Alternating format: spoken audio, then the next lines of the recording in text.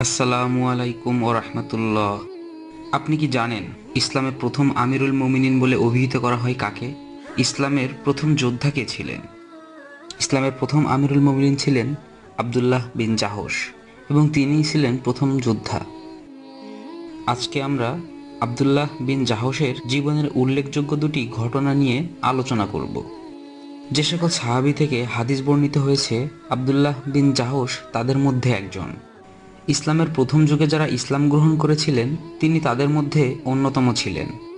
আবদুল্লাহ বিন জাহস রাসুল্লাহ সাল্লাহ সাল্লামের ফুপাতো ভাই ছিলেন। কেননা আবদুল্লাহ বিন মুত্তালিবের কন্যা উমাইমা ছিলেন আবদুল্লাহ বিন জাহসের মাতা। উমাইমা ছিলেন রাসুল্লাহ সাল্লাহ সাল্লামের আপন ফুফু। অন্যদিকে আবদুল্লাহ বিন জাহস ছিলেন রাসুল্লাহ সাল্লাহ সাল্লামের শ্যালক কেননা তার বোন জয়নাব বিনতে জাহস ছিল রাসুল্লাহ সাল্লাহ সাল্লামের পবিত্র স্ত্রীদের মধ্যে অন্যতম। রাসুলুল্লাহ দারুল আরকামে প্রবেশ করার পূর্বে আবদুল্লাহ বিন জাহস ইসলাম গ্রহণ করেন।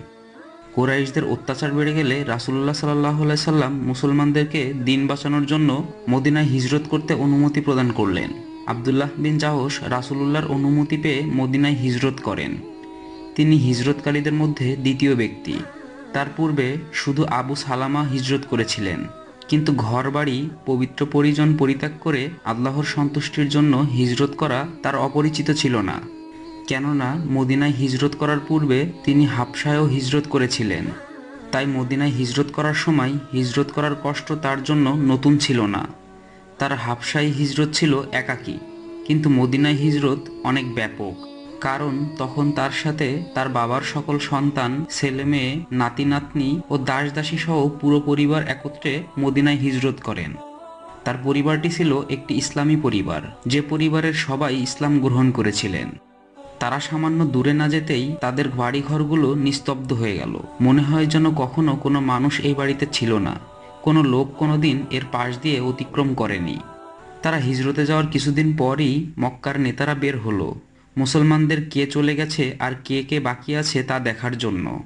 আবু জাহেল, উতবা ও অন্যান্যরা ঘুরে ঘুরে তা দেখতে লাগল। উতবা দেখল জাহসের ছেলেদের ঘরগুলোর দরজা বন্ধ। সেখানে সব কিছু একেবারে নিস্তব্ধ। সে তখন বলল জাহসের ছেলেদের ঘরগুলো তাদের জন্য কাঁদছে। আবু জাহেল বলল, এরা এমন কে যে এদের জন্য তাদের ঘর কাঁদবে? তারপর আবু জাহেল আবদুল্লাহ বিন জাহেশের ঘরে ঢুকে যা কিছু পেল তা সব কিছু নিয়ে গেল। মনে হচ্ছিল সে এগুলোর মালিক। যখন এ কথাগুলো আবদুল্লাহ বিন জাহসের কানে যায়, তিনি তা রাসুল্লাহ সাল্লাহ সাল্লামের নিকট বললেন। রাসুল্লাহ তাকে বললেন, এই ঘরের বিনিময়ে জান্নাতে তোমার জন্য একটি ঘর হবে। তুমি কি এতে খুশি না? আবদুল্লাহ বিন জাহস বললেন অবশ্যই হে আল্লাহ রাসুল, এ কথা শুনে জাহেশের অন্তর শান্তি পেল এবং তার চক্ষু শীতল হলো। হজরত আবদুল্লাহ বিন জাহস মদিনায় গিয়ে এখনও ভালোভাবে অবস্থান গ্রহণ করতে পারেননি। এমনকি মক্কা থেকে হিজরত করে আসার কষ্ট, ক্লান্তিও দূর হয়নি। এর মধ্যেই আল্লাহ তাআলা চাইলেন তাকে জীবনের সব থেকে বড় পরীক্ষার সম্মুখীন করবেন। তিনি এমন কঠিন পরীক্ষার সম্মুখীন হবেন যে, ইসলাম গ্রহণ করার পর থেকে এ পর্যন্ত এমন কঠিন পরীক্ষার সম্মুখীন তিনি এর আগে হননি। আল্লাহ তালার তরফ থেকে কি সেই পরীক্ষা ছিল? চলুন সেটি এখন জেনে নিই। রাসুল্লাহ সাল্লাহ সাল্লাম তার আটজন সাহাবিকে ইসলামের প্রথম সামরিক দায়িত্ব দিয়ে মক্কার পথে প্রেরণ করেন।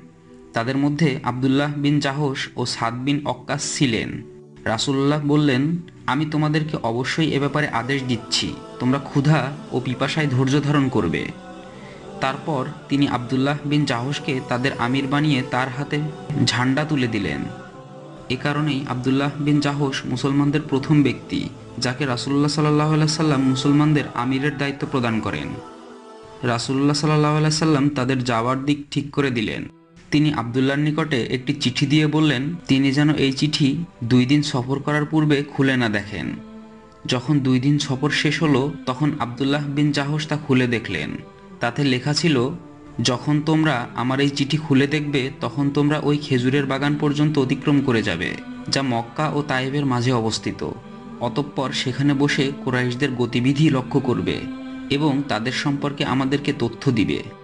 আবদুল্লাহ বিন জাহস সেটা পড়ে শেষ করে সবাইকে বললেন, আল্লাহ রাসুল যা বলেছেন তা শুনলাম এবং আনুগত্য স্বীকার করলাম। তারপর তিনি তার সাথীদেরকে বললেন, রাসূলুল্লাহ আমাদেরকে তথ্য সংগ্রহ করার জন্য মক্কা ও তাইফের মধ্যবর্তী নাখলা নামক স্থানে গিয়ে অবস্থান করতে নির্দেশ দিয়েছেন, যাতে করে আমরা কোরাইশদের গতিবিধি লক্ষ্য করতে পারি এবং তাদের সম্পর্কে রাসূলুল্লাহ সাল্লাহ সাল্লামের নিকট সংবাদ পৌঁছিয়ে দিই। রাসূলুল্লাহ আমাকে তোমাদের সাথে জোর করতে নিষেধ করেছেন। সুতরাং তোমাদের যার ইচ্ছা, সে আমার সাথে আসো।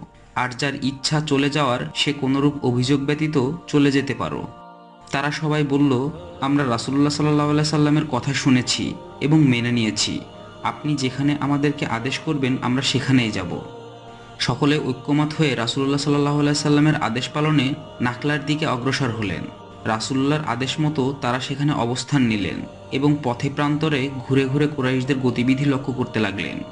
হঠাৎ করে তারা দেখলেন কোরাইশদের একটি ব্যবসায়ী কাফেলা আসছে।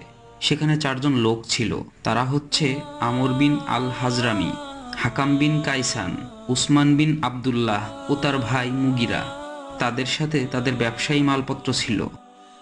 এ সময় রাসুল্লাহ সাল্লাহ সাল্লামের প্রেরিত সেই আটজন সাহাবি বসে পরামর্শ করতে লাগলেন। দিনটি ছিল মোহররম মাসের শেষ দিন। তারা বললেন, যদি আমরা আজ যুদ্ধ করি, তাহলে আমরা হারাম মাসে যুদ্ধ করলাম। আর এ কারণেই সকল আরববাসীরা আমাদের উপর ক্ষিপ্ত হবে। আর অন্যদিকে যদি আমরা আজ তাদেরকে ছেড়ে দিই, তাহলে তারা হারাম এলাকায় পৌঁছে যাবে এবং আমাদের থেকে নিরাপদ হয়ে যাবে। অনেকক্ষণ যাবৎ পরামর্শ সবাই আলোচনা করার পর তারা এ ব্যাপারে ঐক্যমত পোষণ করেন যে, তারা ওদেরকে আক্রমণ করবে এবং যা পাবে তা গনিমত হিসেবে নিয়ে যাবে। এরপর তারা আক্রমণ করে আমর বিন হাজরামিকে হত্যা করে। দুইজনকে আটক করে আর অন্যজন পালিয়ে যায়। হজরত আবদুল্লাহ বিন জাহস গনিমতের মাল ও বন্দীদেরকে মদিনায় রাসুল্লাহ সাল্লাহ সাল্লামের নিকট নিয়ে আসেন। তিনি রাসুল্লাহ সাল্লাহ সাল্লামকে যা ঘটেছে সব কিছুর বিবরণ দিলেন। রাসুলুল্লাহ তার ঘটনা শুনে কঠোরভাবে নিন্দা জানান। তিনি তাদেরকে বললেন, আল্লাহর শপথ, আমি তোমাদেরকে যুদ্ধ করার নির্দেশ দেইনি। বরং আমি তোমাদেরকে নির্দেশ দিয়েছি, তোমরা কুরাইশদের গতিবিধি লক্ষ্য করবে এবং তাদের অবস্থা সম্পর্কে আমাদেরকে জানাবে। রাসুল্লাহ সাল্লাহ সাল্লাম ওই দুই বন্দীদের ব্যাপারে আল্লাহর পক্ষ থেকে ফাইসালা আসার অপেক্ষা করতে লাগলেন এবং কাফেলার অর্জিত গণিমত থেকে কোনো কিছুই গ্রহণ করলেন না। এ অবস্থায় হজরত আবদুল্লাহ বিন জাহস ও অন্য সাতজনের মাথায় যেন আকাশ ভেঙে পড়ল। তারা ধারণা করতে লাগলেন, তাদের এই কাজ রাসুলের নির্দেশ বিরোধী হয়েছে। আর এই কারণেই না জানি তারা ধ্বংস হয়ে যায়। তাদের জন্য ব্যাপারটি আরও কঠিন হয়ে গেল যখন অন্য মুসলিম ভাইরা তাদেরকে পরিত্যাগ করে চলতে লাগলেন। দেখা গেল তাদেরকে এ কাজের জন্য নিন্দা জানাতেন। এমনকি তারা তাদেরকে দেখলে মুখ ঘুরিয়ে অন্য পথ দিয়ে চলে যেতেন। মুসলমানগণ তাদের পাশ দিয়ে অতিক্রম করার সময় বলতেন, এরা রাসুলুল্লাহর নির্দেশের বিপরীত কাজ করেছে। সমস্যাটা দিন দিন বাড়তে লাগল। যখন তারা জানতে পারল কোরাইশরা রাসুল্লাহ সাল্লাহ সাল্লামের বিরুদ্ধে বিভিন্ন গোত্রের নিকট এই বলে প্রচার করতে লাগল যে, মোহাম্মদ হারাম মাসগুলোতেও যুদ্ধ বৈধ করে দিয়েছে। সে হারাম মাসে মানুষ হত্যা করেছে, মালামাল লুট করেছে এবং বন্দি করেছে। সুতরাং এতে প্রশ্ন করার অবকাশ থাকে না কতটুকু কষ্টের বোঝা তাদের মাথার উপর ছিল। একদিকে তাদের কাজটি রাসুলুল্লাহর নির্দেশের বিপরীত হয়েছে, অন্যদিকে তাদের কাজটির জন্য কাফেররা রাসুল্লাহ সাল্লাহ সাল্লামের উৎসাহ রটনা করেছে। দিনের পর দিন যখন তাদের উপর কষ্ট আর মুসিবত বাড়তে লাগল, হঠাৎ এমন সময় এক লোক এসে বলল, আল্লাহ তোমাদের কাজের উপর সন্তুষ্ট হয়েছেন এবং তোমাদের ব্যাপারে আল্লাহ তাআলা তার নবীর উপরে ওহি প্রেরণ করেছেন। এ সংবাদ শোনার পর তাদের মাঝে আনন্দের বন্যা বইতে শুরু করল। এ সংবাদ শুনে অন্যান্য মুসলমানগণ তাদেরকে স্বাগত জানাতে এগিয়ে আসলেন এবং তাদের সাথে কুলাকুলি করতে লাগলেন। তাদের কর্মের উপর সন্তুষ্ট হয়ে আল্লাহ তাআলা যে আয়াতগুলো নাজিল করেছেন, তা তেলাওয়াত করে শোনাতে লাগলেন। সুরা বাকারা দুশো সতেরো নম্বর আয়াতে উল্লেখ আছে, তারা আপনাকে হারাম মাসে যুদ্ধ করার সম্পর্কে জিজ্ঞেস করবে। আপনি বলুন, তা অনেক জঘন্য। কিন্তু আল্লাহর রাস্তায় কাউকে বাধা দেওয়া, তার সাথে ও মসজিদে হারামের মধ্যে কুপুরি করা এবং অধিবাসীদেরকে সেখান থেকে বের করে দেওয়া আল্লাহর নিকট আরও জঘন্য। এ আয়াত নাজিল হওয়ার পর রাসুল্লাহর অন্তরও খুশিতে ভরে গেল। তিনি গণিমতে অংশগ্রহণ করলেন এবং বন্দীদের থেকে মুক্তিপণ আদায় করেন। আর এ কাজের জন্য তিনি আবদুল্লাহ বিন জাহস ও তার সাথীদের উপর অনেক সন্তুষ্টি প্রকাশ করেন, যার কারণেই এই ঘটনাটি ইসলামী ইতিহাসে অনেক গুরুত্ব লাভ করে। কেননা এ যুদ্ধের গণিমত মুসলমানদের জন্য প্রথম গণিমত ছিল। এ যুদ্ধে যাকে হত্যা করা হয়, সে প্রথম নিহত মুশরিক। সে মুসলমানদের হাতে নিহত হয়েছে। এ যুদ্ধে যারা বন্দী হয়, তারা ছিল মুসলমানদের হাতে প্রথম বন্দী। আর এ যুদ্ধের আমির ছিলেন হজরত আবদুল্লাহ বিন জাহস যিনি ইসলামের প্রথম আমিরুল মুমিনিন নামে খ্যাত হয়েছিলেন। আরেকটি ঘটনা, বদরের পর উহুদের যুদ্ধে আবদুল্লাহ বিন জাহস ও তার সাথী সাদ বিন আবু আক্কাসের সাথে ঘটে যাওয়া সেই ঘটনা, যা ভুলে যাওয়ার মতো নয়। সে ঘটনা হজরত সাদ বিন আবু আক্কাস রাদিয়াল্লাহু তাআলাহু বর্ণনা করেন। তিনি বলেন উহুদের যুদ্ধের পূর্ব মুহূর্তে আবদুল্লাহ বিন জাহস আমার সাথে দেখা করে বলে, তুমি আল্লাহর কাছে দোয়া করবে না? তখন আমি বললাম, অবশ্যই করব। তারপর আমরা এক কোণে গিয়ে দোয়া করলাম। আমি তখন বললাম, হে আমার প্রতিপালক, আমি যখন শত্রুর সম্মুখীন হব, আপনি আমার সাথে এক শক্তিশালী ব্যক্তিকে সাক্ষাৎ করাবেন, যে খুব সাহসী এবং খুব রাগী। আমি তার সাথে লড়াই করব এবং সে আমার সাথে লড়াই করবে। এরপর তাকে পরাজিত করার জন্য তুমি আমাকে সাহায্য করবে। এতে আমি তাকে হত্যা করব এবং তার থেকে গনিমত নিয়ে নিব। দোয়া শেষে হজরত আবদুল্লাহ বিন জাহস আমিন বলেন। এরপর আবদুল্লাহ বিন জাহস রাদিয়াল্লাহু তাআলাহু দোয়া করতে লাগলেন।